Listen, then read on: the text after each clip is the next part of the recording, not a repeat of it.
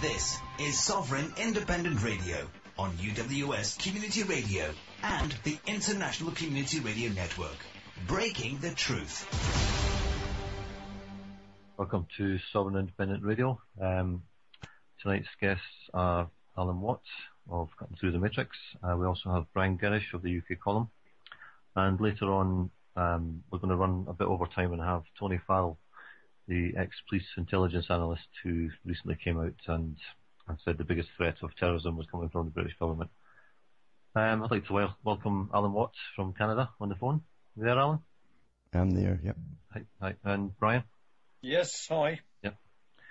Um, for those, um, it, it's um, it's quite surprising, Alan. Um, we meet a lot of people in the so-called truth movement, and we, you know, we mention your name, and it's it's quite surprising how few people actually actually know about you, and we try and point them in your direction because you know the information you put out is is solid, you know, and um, backed by documents and all the rest of it. And um, so, for those out there who haven't heard you before, do you, do you want to just explain how you how you started out on this journey, as it were, and um, yeah, what yeah. you do now?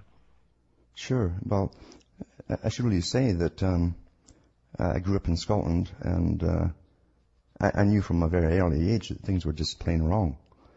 And um, I also re- realized too we're in a regimented system, even in school, and everything's regimented from the government all the way down. And I kept wondering why uh, we got this wonderful history of conquering different countries.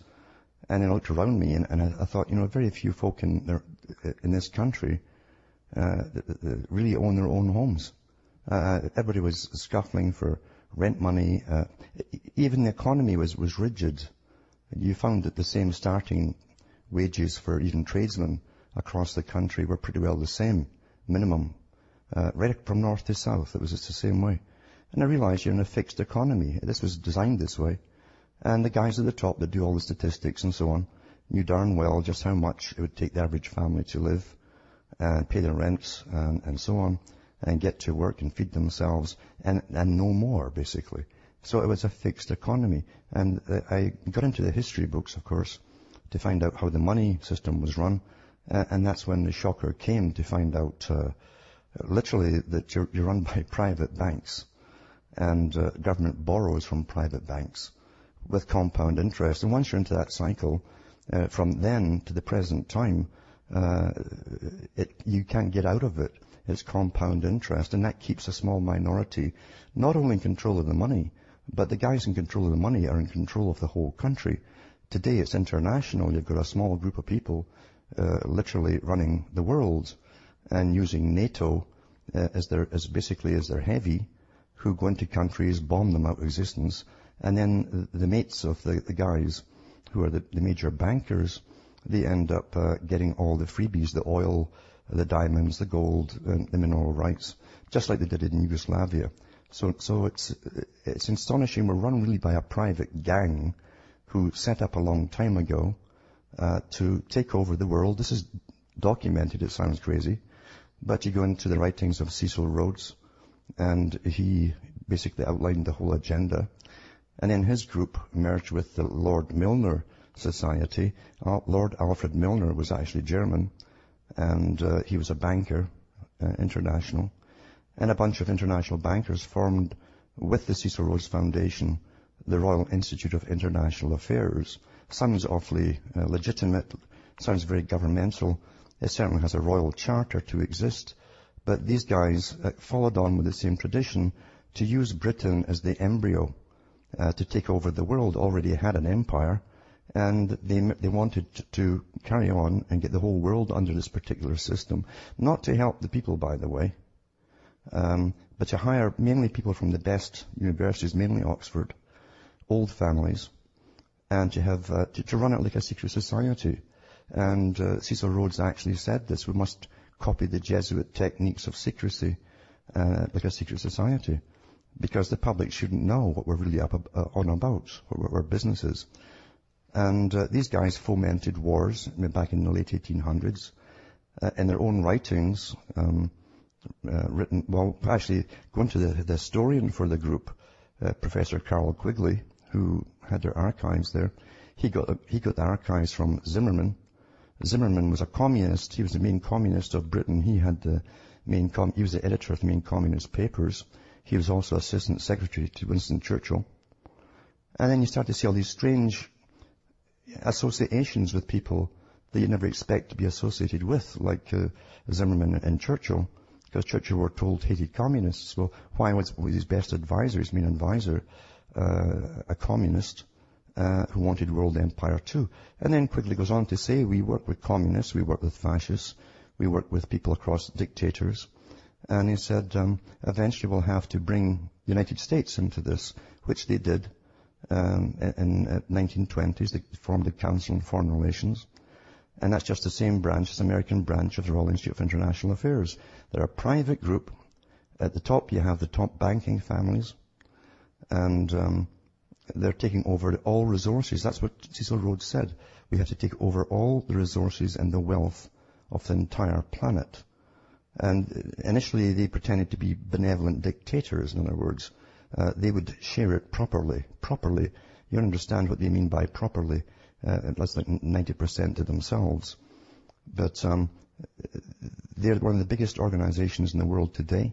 Every country has a branch of the Council on Foreign Relations. Uh, all each British Empire uh, country, the Commonwealth countries, have a branch uh, in their own country um, running the show, all all working inside politics and outside politics to bring in a world government. It's not a nice, pleasant thing. They'll, they'll, they try to portray it as peace and all the rest of it, but it's really a form of domination. In fact, it's the worst kind of domination you can imagine because most people don't realize that war was declared on them a hundred years ago. And the war is, is, encapsulates and takes from the Communist Manifesto of the ab- abolition of private property, uh, abolition of the family unit, uh, the rearing uh, uh and the moral giving to the children by the state, uh, pretty well all of the Communist Manifesto has been accomplished at the end of the nation state. Well, that's happened too with the EU. So you realize that before even Cecil Rhodes was on the go, this other organization obviously um, was at work on the same agenda before they became the Cecil Rhodes Foundation and before they became the Lord Alfred Milner Foundation. They said, as I say, that they need a bigger country with more resources, more manpower, and a bigger tax base to, to finish the job off. And that's when they brought the United States into it. The United States' only job, only job, is to be the taxpayer for the United Nations, the enforcer for the United Nations and NATO. And once that's done, uh, there'll be nothing left in America. They'll be absolutely bankrupt. They already are. But they knew this back in the 1930s when you read the Council on Foreign Relations um, memos from their meetings, their minutes of their meetings they had, annual meetings, they knew that America, towards the end of the 20th century and into the 21st century, uh, would be uh, basically bankrupt. And it would maybe last another 20 years after it was declared officially bankrupt before it went under. But by that time, they would have forced the rest of the world under the same world system. And that's where we are today. So it's an ongoing agenda. Um, there are many facets to it. Uh, they have so many organizations under the United Nations umbrella. Uh, most of them are private, non-governmental organizations, and they're backed by the parallel government. Maggie Thatcher calls it the, the parallel government. When she retired, she said, um, now that I'm out in the limelight, she says, I belong to the parallel government and this parallel government has more power than, than the elected government because we're not responsible to the people. She says we can get the, the big job done. And she says it's comprised, uh, this organization is comprised of ex-prime ministers, presidents, and top bureaucrats who all know, already know each other, having been in office. And she said we're not, we can get done, things done faster. That ties in with the main think tank for the, for the United Nations, which is the Club of Rome. And they wrote back in the 70s that democracy would not work. There were too many competing parties arguing for power, and therefore they'd have to go, go into a post-democratic society, which is authoritarian. And that is the job, of course, of these, the Maggie Thatcher, the Bill Clinton types, uh, and so on, the parallel government. That's what they're doing now. They, are actually on the on the, the, the, the trot all the time across the world, going to world meetings advocating unification of different parts. Now, the unification of Europe was first mentioned by uh, Karl Marx. He said, uh, we'll, we'll, split the world into three regions. He said, uh, first will be a European Union uh, under a parliament, which in turn would be under a super parliament of the world. That's the United Nations. He says eventually the United States and all of uh, the Americas will come into an American uh, region and some of the Caribbean islands as well, which has happened. And uh, they've, been on, they've been pushing for this and integrating steadily now for 15, 16 years. And then he said after that, he says we'll also have a, a Far East uh, block as well, or region, with Australia, New Zealand, uh, China, Japan, uh, all put into the same block. And was, these would comprise the main three trading blocks of the world. And they could keep expanding, and that's why you see the EU expanding and expanding. They also have an African bloc. And uh, these, these, these technically smaller blocks of larger countries like Africa will eventually be merged into the, the, the European Union as well. And there won't be the, bloc, the African bloc anymore. So this is the agenda. This is what we're living through today. It's a completely controlled society um, where science is supposedly uh, going to rule us all from birth to death under an, an authoritarian system. And if they don't want you born, you will not be born. You must be born simply if there's a task they need you for. Um, many of the writers that belong to this society have published their memoirs, like Bertrand Russell, who worked with the Frankfurt Group, who gave you your culture because that was the whole culture industry which he was involved in. And that's the music industry, that's the, the movies, television, everything. That's where we get our culture from. We copy them like monkeys, unfortunately, and we adapt and uh, to what we see. So we're going through a planned change. We have been for your whole life long. So your parents. And you don't realize that the major wars we've gone through, even in the 20th century, were fomented and set up and designed from London by the Royal Institute of International Affairs because Quigley goes into that. And he said even when they were fighting the Boers to take over South Africa because Cecil Rhodes Foundation, Milner, all the bankers wanted the diamonds and the gold, they were, they'd been pressing already for 14 years with a war with Germany, which they wanted to make into a global war.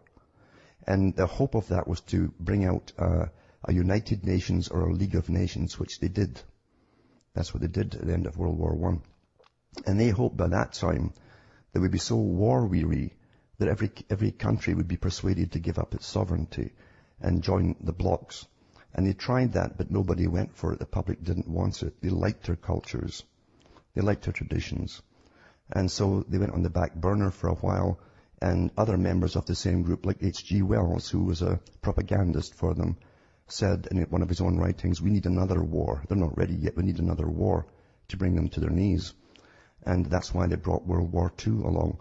We know from um, Professor Anthony Sutton and others who've gone into who financed Hitler and Wall Street and the Bolshevik Revolution. It's the same conglomeration of bankers and these top uh, politicians belonging to the Royal Institute of International Affairs, uh, which have been behind all the major changes throughout the 20th century and the present century.